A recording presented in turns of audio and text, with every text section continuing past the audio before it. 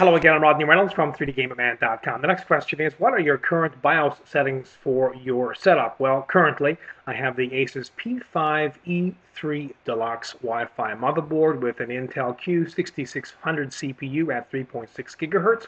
I have 4 gigabytes, two modules of 2 gigabytes each of Crucial PC3 10600 memory with a Swiftech water cooling kit. Now, all the other components in my system is listed in the description on the YouTube page. So you can click on that and you can see the other components that are in my particular setup. The first thing you need to do is go into the AI tweaker of the BIOS.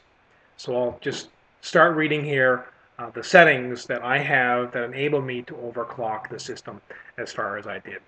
In the AI tweaker area of the BIOS, the AI overclock tuner is set to manual. The CPU ratio setting is 9. The front side bus strapped to North Bridge is 400. The front side bus frequency is 400. The PCI Express frequency is 100. The DRAM frequency is 1600. The DRAM control rate is 2. The DRAM timing control is set to manual.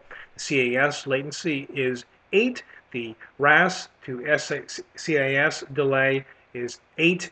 The RAS pre-charge is 8. The RAS active time is 20, and all the other memory timings are set to auto except for the last two. The DRAM static read control is disabled, and the DRAM dynamic write control is also disabled. The AI clock twister is set to auto. The AI transaction booster is also set to auto. Now, the rest are uh, voltage settings. Well, the next section is voltage settings. The CPU voltage is set to 1.55. The CPU PLL voltage is 2.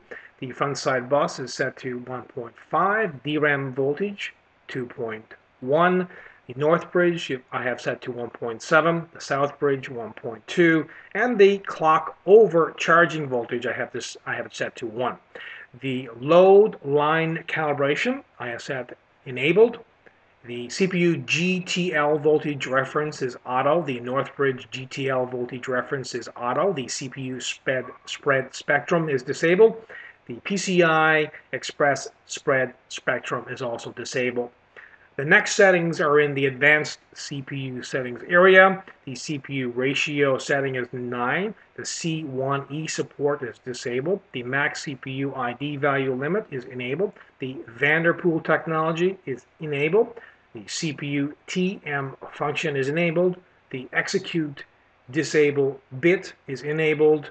And the PC PECI, sorry, PECI is disabled. That's the last one. Now remember, these are my particular settings for my particular setup.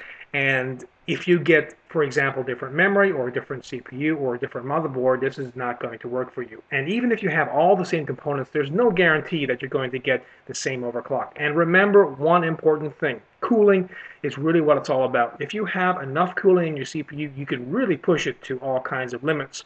I have, remember, a Swiftech water cooling system on the CPU, and that's going to make a world of difference, especially when your CPU is at max load. So keep that in mind when you're thinking about overclocking your system. Hope this answers your question, and keep your questions coming.